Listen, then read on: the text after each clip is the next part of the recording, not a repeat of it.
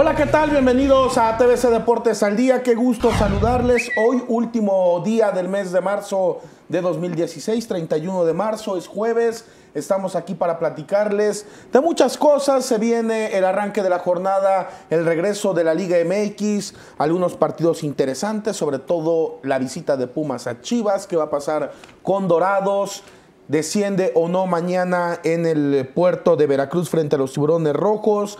Hablaremos un poquitín de lo que es el clásico, aunque me regañen que luego digo todo, que ya me acabe el programa. Siete minutos. ¿Cómo estás, mi querido Abraham? Dura, nada más. ¿Qué tal? Qué gusto saludarlos. Oye, también me parece interesante lo que hoy sucede con Eduardo de la Torre de Cruz Azul y esta cosa que habla de, de Benítez, ¿no? De está lesionado después de participar con su selección, se termina su préstamo y están poniendo en duda si lo compran cuando ha sido, me parece que el mejor centro delantero que les ha caído después de la primera, del primer torneo de Pavone. Exactamente. ¿Cómo estás, Leo? Bien, Luis, ¿qué tal? Abraham le saludo con gusto y después también de lo que se ha dicho durante este día, sobre todo con el Negrito Medina, ya con el Atlas, y otra vez el tema arbitral y donde pues ahora antepone que por la situación de la televisora de TV Azteca les están cargando pila en las cuestiones arbitrales. Ahora resulta que otra vez los medios terminan que ver con los malos pasos de algunos de los equipos. No, pero es lo que será al ser, eh, lo que entiendo del negro Medina es que dice, al ser eh, Atlas propiedad de TV Azteca y los comentarios Por eso, por la crítica de, que se hace en TV Azteca, nos cargan la pila. personajes de, de TV Azteca es que el arbitraje nos afecta. Sí. Yo así lo entiendo. Pero es, pero es muy aventurado, ¿no? O sea, O sea, habrá que investigar. Hoy, hoy en Milenio, la afición publicaba un, este, un reportaje, un reportaje en torno a los errores que han perjudicado al Atlas. Muy buen reportaje de nuestro buen amigo, ya iba a decir su apodo que no se puede decir, este, del negro, Héctor González, no Iñárritu, Héctor González Villalba. Villalba. Muy buen reportaje, la verdad. Muy Sí. buena investigación. Sí, que ya lleva varias, ¿no? Sí, sí, sí, documentan bien. Me voy a permitir. Vamos a ver antes las portadas y les vamos platicando de eso. Vamos a ver Sí, las ahí- ahí portadas del día. ¿no? Ahí aparecerá. Vemos las portadas. Arrancamos con récord. Chivas, el equipo de México. Tras la qué intensa actividad la selección, de las selecciones de Guadal- Guadalajara que no alcanzo a ver. por Se Dios. consolida como Ah, ¿tú sí ves? nuestro principal, Espérame. el que más aporta a selecciones nacionales, sobre todo a la Aquí sub-23. está. Nada más hay que recordarles Eh, que los de Guadalajara puntos. con la sub-23 la regaron Sí. en los dos partidos. Dice el francotirador, ante la crisis de ICA, en Pumas ya rondan ideas radicales de inversión y te dice qué jugador del América quiere retirarse. Eh, puntos, también récord lo retomaba, puede pegar en los puntos, en el descontar puntos, puntos y abusos laborales. Como ya es una costumbre, cuando Lo de los Qatar, Juegos ¿no? Olímpicos de Río, cuando los de Qatar y cuando... eh, ah, mira. Cotizan alto, ve cotizan- nada más mira, al Madrid, regresan- a la Juve. y se habla bien de Tecatito ellos. también. Yo pensé que el Tecate, el Tecacrack, traía una gorra del esto. ¿El qué? No. Tecacrack. Tecacrack. Mira, el equipo de infantil. vence en penales al conjunto de Evo Morales. No, el presidente Oye, de la FIFA lo está haciendo muy Oye, bien. pero Evo ¿eh? Morales de repente es de. El balón es mío, mira, ahí está. Respetan a Guiñac. Y llegó la hora de mostrar. Ese es de. Aquí nos pusieron hoy las ¿De dos. Monterrey? La- no, es la de México. Sí. La del de Ciudad de México. Y la de León. Y la de León, Guanajuato. León. León de los Aldamas. Saludos a León. Próximamente estaremos por allá El de gira. deporte inmune a la contingencia ambiental, dice. esto la porque no se detienen los partidos, ¿no? Y los A pesar entrenamientos. de y los entrenamientos, a pesar de lo que se habla en la Ciudad de México, de, la, es que de no, no hay como tal una contingencia. Hoy- hoy en día no hay una Están contingencia. tomando medidas para que no suceda. Por eso está lo de. No como anteriormente que sí se había plasmado la contingencia, Es hoy no hay. Es correcto. No hay. Muy bien. Esperemos que no haya. Y estas sí van para otro bloque, pero de una vez yo ayer me quedé adelanto, ¿no? dormido viendo el clásico del 2009 cuando el Real Madrid el, pierde 2-6 con el Barça en el Santiago Bernabéu. ¿Por qué Dormí- 2-6? Porque era visitante el Barça. Visitante el Ah, Barça, bien, 2-6. Muy bien. El clásico es otro título, pues no creo, ¿verdad? Oye, ya preparan eh, extraordinario el. el Ay, hoy ando muy olvidadizo, ¿eh? El mosaico. El mosaico. ¿Qué me pasa? ¿Qué me pasa? No estoy tomando el mosaico multicolor en honor a Johan Cruyff. Sí. Espectacular eh, lo que va a presentar el sábado, 12.30 tiempo local. Mostraban una imagen, ¿no? De tal vez como podría ser en, un- en una eh, publicidad desde ayer, tal vez eh, como vaya a hacerse una de las partes de este mosaico y se veía bastante impresionante. Mira, va, bastante es fuerte. Ya nada más después de eso, ojalá y por favor dejen descansar ya al señor, ¿no? Porque ¿Por qué? No, pues los homenajes todos se los Todo merecen. está bien. Ve, Los homenajes tan es así lo que son mejores en significa vida. para el Barcelona que eh, él f- muere a causa de su adicción al tabaco. Un infarto en el 91 deja de fumar y puso de moda en España, no sé si las vendan todavía en México, chupa Sí. chups. sí, sí las ven. Y el sábado en el estadio, gratis, van a regalar la chupa chups en honor a este Johan Cruyff. Ahora sí, ¿con qué vamos, señor productor? Usted es nuestra guía Ya a partir de la la racha de junta. Después de la junta que que acabamos tuvimos. de tener, usted es nuestra guía espiritual y periodística. La racha de Pumas llegó a cuántos? 33 años. 34, ¿no? 34. Yo no había nacido. No, pues cuando ni yo. No, Negrete, lo menos. Negrete. ¿Sabes cómo fue el gol? Sí, un golazo de como tijera. tijera, ¿no? de tijera. Sí. Ahí está. Mira, así ha pasado los últimos partidos. La Son más mayoría empa- tres empates. empates y dos victorias de Chivas. Se va a romper esta racha. ¿Crees? Sí, Pumas está jugando bien. Creo que ha habido otros momentos en donde ha estado mejor Pumas y no se ha roto. Y que muchos de ellos, por ejemplo, en el de la apertura de 2012, si no mal recuerdo, también con un gol que le anulan a los Pumas y que, bueno, generó cualquier cantidad de polémicas en ese momento, ¿no? O sea, también muchas circunstancias que se han vivido. Cuando se iba a romper, de hecho, era, fue en la final de ida del 2004, cuando Pumas le gana el título a Guadalajara, pero recordarán que señalaron un penalti como a tres metros de distancia del área y fue empate. ¿Quién era? ¿Glower? No recuerdo fue? si era el- en el 2004. No, no, no sé. No, yo la verdad, No, recuerdo el árbitro, la Soy muy sí, malo, muy malo. Yo recuerdo que penal en, fue en de- esa liguilla, dos penales eh, dudosos, uno de esos que comentas y uno en semifinales, que le dieron a las Chivas. ¿Pero tú hablas de la final? Final, Ah, final. sí era Glover. Sí, Sí, ¿sí era, era Glover? sí era el buzo, ya me acordé, me lo El platicó buzo. el buzo. Él, él es No, buzo está bien, profesional. está bien, nada más Él me- es buzo profesional. no me puede causar Es la gracia. competencia de tu suegro. Ah, ¿Sí? caray. Ah, no lo sabía. Ah, Paz, pongan el video cuando se equivoca. Da igual servicios No, así. no, pues está bien. Así. Y creo que Para fue en esa liguilla los dos de acá. Glower para Chivas, ¿eh?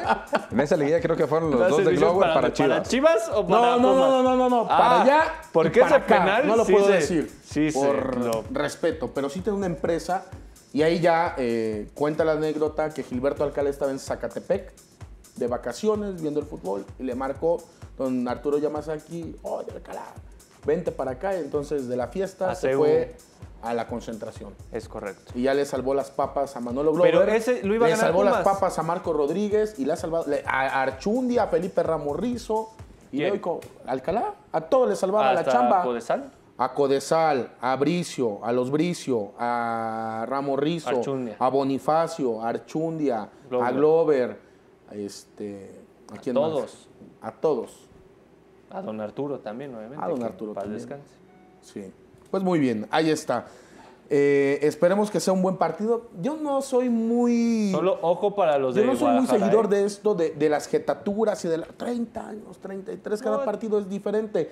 Pero como hoy este partido no tiene un ángulo Pues de ahí se interesante, nos agarramos todos de ahí. Y Pues no el muchos equipo. torneos así, ¿eh? Llevan muchos torneos con ese mismo ángulo porque realmente les ha costado a los dos equipos tratar de llegar, al menos el torneo pasado, llegaba mejor Pumas. Yo creo que es Pero- hueva de la, de la fuente de allá de Guadalajara.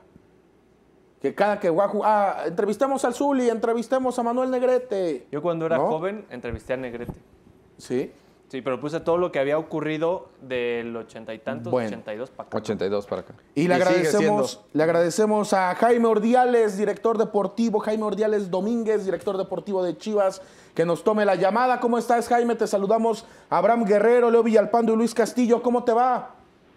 Gracias, Abraham. Muy bien, bendito sea Dios. Eh, necesito un abrazo. ¿eh? Un abrazo, Jaime. ¿Cómo vas? ¿Cómo va todo? Bien, bendito Dios. Ahí vamos, ahí vamos, bien pianito trabajando y este y pues con la ilusión de que las cosas vayan mejorando, ¿no? Oye, Jaime, cuéntanos, eh, eh, a- desde tu punto de vista, el equipo ha progresado después de que no tuvieron un buen arranque. Hoy, indudablemente, están buscando calificar. ¿Tú crees que a priori, cuando faltan algunas jornadas eh, para que termine el torneo regular, Chivas esté en vías de conseguir la calificación? Bueno, pues yo creo que mm, será con consecuencia de los resultados que nos quedan, de los seis partidos que vamos a disputar. Lo que te puedo decir es que hemos ido, creo que mejorando en algunos detalles que marcaban la diferencia, en, sobre todo entre ganar y empatar, porque muchos partidos los tuvimos para ganar y, los empatamos. Si bien es cierto, yo he defendido mucho la postura del equipo porque creo que eh, el equipo, el desarrollo de los juegos son buenos, lo único es que no podíamos finalizarlos, no podíamos terminar, nos ha faltado un poquito de contundencia y teníamos algunas distracciones, ¿no? Pero el equipo mostraba que, venía siempre haciendo cosas buenas y que en un momento dado se iban a, a, este, a dar los resultados. Pero, digo, estamos retrasados en los puntos, entonces obviamente pues estamos este, con la idea de que en estos seis juegos podamos rescatar y recuperar la posibilidad de calificar, ¿no? Jaime, ¿qué tanto ha cambiado? Porque aunque ahí está el tema de, del descenso, ustedes han hecho su parte. ¿Qué tanto ha cambiado esta presión que se tenía a inicio del torneo? Hoy ya no es la misma presión que al arranque del torneo de pelear con Dorados, pelear con Morelia, ¿ya se ve de manera distinta la porcentual?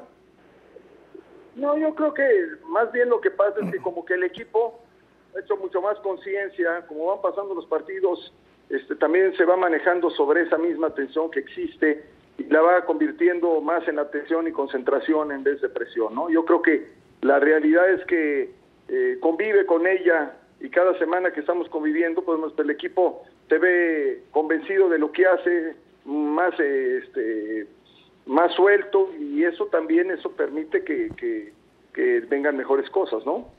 Jaime, ¿cómo estás? Eh, buenas tardes, te saluda Abraham Guerrero. Después de estos últimos tres partidos de Guadalajara, la victoria contra Querétaro en Monterrey, lo del clásico, que a pesar de, la derrota creo que eh, Chivas hace un buen partido, pero después de esos tres partidos y la, el descanso por la fecha FIFA, ¿qué tanto pudiera afectarle a un Guadalajara que parecía que venía en ascenso? Bueno, yo creo que habíamos encontrado una buena dinámica. Tuvimos que buscar un partido en Portland para tratar de mantenernos sobre esa misma línea. También es cierto que no tuvimos muchos de los jugadores que van a jugar con Pumas de titulares por porque fueron a la Olímpica y a la Mayor, pero este pues también Pumas tuvo que detener eh, este torneo y estamos en igualdad de circunstancias. A nosotros sí nos hubiera gustado que no hubiera llegado en este momento la la el, para el torneo, pero este, el receso de torneo, pero la realidad es que bueno, no, no, no pensamos en que no sea positivo. Vamos a pensar mejor nosotros que nos dio un tiempo más de trabajo, de ajustar mejor algunas cosas, de que Matías pudiera ver también algunos otros jugadores que no estaban teniendo mucha participación en, el partido ahí en Portland y este y bueno esperar que podamos ganar porque lo más importante ahora es la victoria contra Pumas. De estos jugadores de, los que hablas que tuvieron participación con selecciones nacionales y sobre todo de los que estuvieron con la sub-23, Jaime, ¿crees que alguno haya perdido el piso, que esté un poquito desorientado y, que eso también le, esté haciendo cometer algunos errores tanto en Guadalajara como le sucedió en la selección nacional? Caso concreto, Carlos Salcedo, te, lo pongo así. Mira, eh, siempre al final de cuentas son jóvenes y nosotros tenemos que eh, están muy pendientes de ellos. Aquí hay muchas áreas integrales como es la área de desarrollo humano y la área de eh, con los psicólogos que, siempre estamos permeando eh, acciones que, que, mantengan a, los jugadores muy concentrados, muy atentos, muy sencillos, muy humildes y sabiendo lo que tenemos que hacer, ¿no? Digo, cada persona es diferente. Yo en particular creo que hay mil cabezas, hay muchas cabezas en y ven formas de, actuar diferentes. Yo en particular lo que veo es que desgraciadamente en el fútbol hay acierto, error y hay ocasiones que se notan los aciertos y hay ocasiones que son de los errores y no no lo conllevo a que a veces el jugador pierda piso, ¿no? Sino a que el jugador en un momento dado cometió el error y listo, ¿no? Habrá que mejorar y, y este y enmendarlo, ¿no? Pero eh, en particular de Carlos como de los demás jugadores aquí yo los veo concentrados, atentos, eh, los últimos partidos, bien dijiste, no nomás Monterrey, Querétaro, el, juego del América, eh, no es de merecer, pero no merecemos definitivamente nunca haber perdido ese juego. Entonces, eh, está marcando una pauta de que vea el equipo en ascenso. Ojalá este, también los jugadores estén conscientes de eso, porque al final de cuentas son los que actúan dentro del terreno de juego. Entonces, a, tu respuesta, yo la verdad no creo. Yo creo que están conscientes de lo que están jugando, lo que están viendo, pero son profesionales y también son futbolistas que pueden llegar a cometer errores como a veces sucede, ¿no? Y a veces nosotros gestamos una respuesta a ese error de diferentes maneras. No creo que sea el caso, ¿no? Oye, Jaime, en, torno a esto de tú con toda la experiencia en primera, mundialista, has tenido una cercanía más allá de lo profesional, tal vez en un tema personal con Carlos Salcedo, que tanto se habla, que va a Europa, que tiene ofertas, y la verdad que eh, bien dicen que a veces uno no tiene la cabeza donde la debe de tener por estar pensando en otras cosas. Tú en lo particular has hablado ya con él del futuro, de lo que le viene, que es un chico que, que, eh, que tiene un futuro prometedor, indudablemente, pero ¿has hablado de ese tema con él? Sí, mira, no, tu servidor eh, desde el principio de temporada eh, me reuní con, con José Luis Higuera, que es el, el CEO de la empresa, y, con su papá. Lo platicamos con él, lo platicamos con el papá. Desde, no sé si recuerdan ustedes, a principio de temporada pues, se me empezó a manejar que si algunos equipos en Europa lo entrevistaron a él. Sí. Entonces eh, habíamos pactado con, con ellos de que íbamos a meternos de, lleno al el trabajo, este torneo, que era muy importante, no tener distracciones que el equipo se está jugando una posición eh, difícil, ¿no? Eh, con el porcentaje y que pues necesitamos el 100% de la concentración de todos los jugadores para que no tuviéramos eh, alguna distracción, ¿no? Luego vino un comentario propio y se volvió a platicar con, con ellos porque empezaron a surgir otra vez por ahí del mes de febrero, marzo, otra vez situaciones de que si iba para Europa, que si tal, lo buscaban al muchacho, buscaban al papá y les volvimos a solicitar que por favor hiciéramos un trabajo, este, que nosotros hacíamos nuestro trabajo con el entrenador y que y con la gente que se encarga este, de ellos también aquí en otras áreas, este, para mantenerlos concentrados, atentos, unidos y, que bueno, pues esas distracciones no nos ayudaban en nada, ¿no? Recibimos el apoyo del padre para, para, porque padre, aparte de ser su padre, me parece su, su manager, entonces, para, para que no hubiera este, distracciones de su parte y, y el muchacho tomó muy buen muy buena reacción la venía, jugando bastante bien los últimos partidos y bueno pues este eso es lo que tratamos de hacer sí hemos estado en comunicación más que con otros jugadores ¿eh? Oye Jaime, te saluda Leonardo Villalpando con mucho gusto. después de lo que ha sido pues esta última etapa que te preguntaban lo de Salcedo, que es evidente uno de los jugadores que ha estado en el foco en los últimos días, sobre todo por lo que comentaba el Potro Gutiérrez, en este acercamiento que ha sido constante, ¿han platicado o él ha acercado, se ha acercado con ustedes también para tratar de hablar de lo sucedido después de lo que dice el Potro Gutiérrez precisamente? Porque más allá del tema futbolístico cancha, me parece que mucho lo plantea con el tema de la actitud que estaba percibiendo el entrenador de la selección. Mira, yo no he tenido, de, él, de, ahí regresaron, entonces prácticamente no he tenido posibilidad de platicar con él en su momento lo haré. Yo creo que Matías ya lo habrá hecho porque normalmente él siempre cuando van a la selección y regresan está muy cerca de, de ellos. Y, al final de cuentas, digo, alguien que fue futbolista y que sabemos que estamos expuestos a equivocarnos y a tener de repente algunas distracciones, lo más importante es tener la apertura para que cuando nos la señalen, por lo menos este, escuchemos, ¿no? Entonces yo estoy seguro que en su momento, quien ya lo hizo y quien lo haré o lo haremos en su momento también este, estaremos este, escuchando, ser escuchados por, por él, ¿no? Eh, en particular te digo, yo no me aboco mucho a esta situación en el sentido de que no le veo gran problema. Yo lo veo que cometió errores como comete cualquier jugador, pero no lo veo yo al chico distraído ni viendo otras cosas o pensando en otras cosas. Él sabe y sabe por parte de la directiva que tiene todo el apoyo terminando la temporada para que si existe una posibilidad de salir al extranjero, con mucho gusto se la vamos a dar. Entonces, no debe tener distracciones de otro tipo, ¿no? ¿Y en qué momento está el equipo del Guadalajara después de lo que se vivió hace pues algunas semanas con todo el tema de dejar algunos de los titulares en la banca, después han regresado. Hoy, ¿cómo está este Guadalajara para enfrentar los partidos que le quedan? Pumas, Puebla, Pachuca, Atlas, eh, Dorados, si no me recuerdo, y Santos, que pues son eh, primordiales para intentar rescatar lo que ha sido esta temporada. Bueno, pues dispuesto a enfrentar este, este, este reto, sigue siendo un reto para nosotros cada uno de los partidos. Hoy es Pumas, no pensamos en los que vienen hasta que no libremos esta situación de, del, del equipo, el contrincante con el que nos enfrentamos esta semana, que es muy importante porque está tres puntos adelante también de nosotros, entonces nos, eh, nos, permitiría acercarnos también a otras instancias ¿no? y alejarnos de las instancias que tenemos eh, en el problema del descenso. ¿no? Entonces, eh, tenemos muchas aspiraciones, pero tenemos que irlas solventando y más este, siendo congruentes eh, eh, haciendo lo que, lo que decimos, ¿no? Entonces, yo puedo hablar mucho, pero el chiste es que hay que hacer un buen partido, demostrarlo, el equipo está fuerte, está bien, está bastante sólido y unido y esperemos podamos eh, tener la misma línea que venimos mostrando los últimos partidos de un equipo este que juega bien y que aparte está encontrando ya mejores resultados, ¿no? Jaime, ¿tú crees en eh, aquellas estadísticas, esta de los más de 30 años de Pumas sin ganar en Guadalajara, sí, sí valen o solamente son un adorno para este tipo de partidos? Pues son estadísticas, las estadísticas para mucha gente tienen un valor muy importante.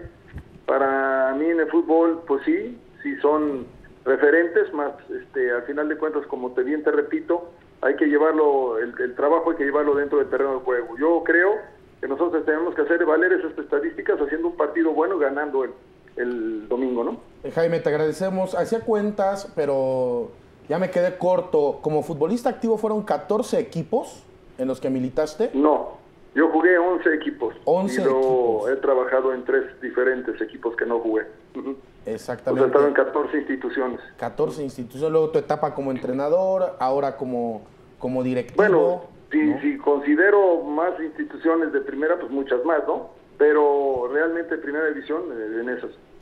Sí, pues tuviste también curtidores en algún momento, ¿no? Cuando estabas Sí, en León, Curtidores. bajaste Sí, sí. al ascenso, ¿no? Con curtidores. es que Curtidores se vendió. No, Curtidores se vendió a Puebla. Yo nunca, digo... ¿No jugaste en. Curtidores? Estar con Curtidores cuando ascendió, claro, y luego se vende la franquicia. ¿no? Exactamente. A Puebla, estando ya en primera, se vendió ahí en el draft. Pero, eh, digo, no, en primera pues trabajé director técnico, solamente director técnico y nunca, ju- nunca jugué en primera más que ese, esas finales que sí permitía la federación, ¿no? Exacto, con aquel socio Águila que ahí tuvimos el gusto de conocerte ya hace muchos años. Con el Hace socio. muchos años, sí. Con Zacatepec primero y Con luego Zacatepec, Águila, sí. cierto, cierto. Pues Sí. te mandamos un abrazo, Jaime. Eh, nos da mucho gusto en verdad saludarte y que, y que siga creciendo este proyecto ahí en Chivas. Pues Dios quiera que así sea. Igualmente para ustedes les mando un abrazo este, y mucha suerte. Gracias, Jaime Ordiales Domínguez, director deportivo de Chivas en Zacatepec. Ahí tuve, ahí cuando yo empezaba, él era el entrenador de Zacatepec. El otro día, previo al clásico nacional, veía uno de estos partidos que, que pasan retros, ¿no? Y ¿Jugó en Chivas? estaba- no, estaba Sí, Jaime claro. al lado de Javier Aguirre y los dos repartían Ah, leña, sí. pero del Jaime, ¿de qué re- ¿Mediocampista? Pero Me- en ese partido, o para esta temporada, y lo decían en la narración, lo habían retrasado a recuperador. Y Ya. este Aguirre estaba como más suelto. Pero, Pero eran buenos, eran clase, buenos los obvia- dos. obviamente tenía clase, Sí. pero en ese repartía leña. Ustedes ¿no? ven, Vámonos. tienen unos años más que yo. Sí, yo lo no, ubico hombre. desde Francia 98. O sea, sí, antes con Tecos, de Bucetich, campeón. Pero en el Mundial de Francia, que ya veterano lo lleva Manuel Apuente. Sí, sí. ¿no? Lo lleva, y hoy tratando en esta nueva faceta, que la tuvo en América, la tuvo en Necaxa. eh, tuvo que alejarse del fútbol. Un tiempo regresó con Querétaro como En auxiliar. Tecos y también estuvo como directivo, además de director técnico. No, que yo sepa, no, no, pues ahí eran los leños.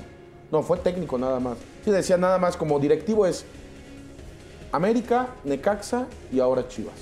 Vamos a ir a publicidad con todas, pero todas nuestra- nuestras estaciones locales y ya volvemos. Si nos buscan, nos encuentran. Esta lucha se gana punto a punto. Y esta pasión, nada a contracorriente. Jornada 13 del Clausura 2016 de la Liga MX. Dorados contra Cruz Azul. Sábado 19.30 horas, 20.30 Centro. Alba de Fe. TVC Deportes, la casa de los Dorados. Continuamos en TVC Deportes al día.